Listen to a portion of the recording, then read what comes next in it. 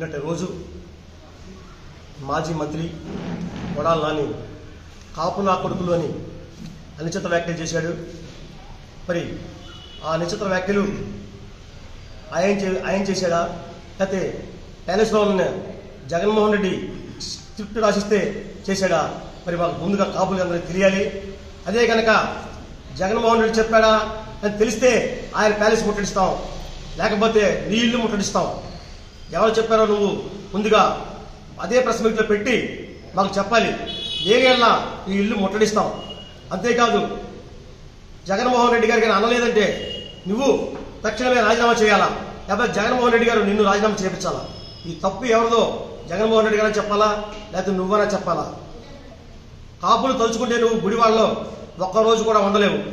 ఒక క్లీన్గా పనిచేసుకునే నువ్వు చంద్రబాబు నాయుడు గారి అభిమానంతో అక్కడ శాసనసభ్యుడికి తెచ్చిన నువ్వు మరీ చంద్రబాబు నాయుడు గారి మీద అనుచిత వ్యాఖ్యలు చేస్తున్నావు.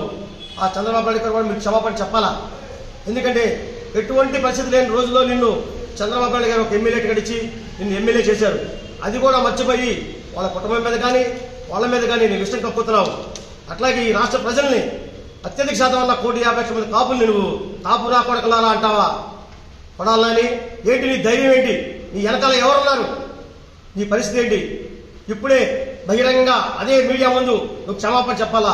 చెప్పకపోతే నిన్ను మీ ఇంటికి వచ్చి తంతాం అని మీడియా ముఖంగా తెలియజేస్తున్నాం.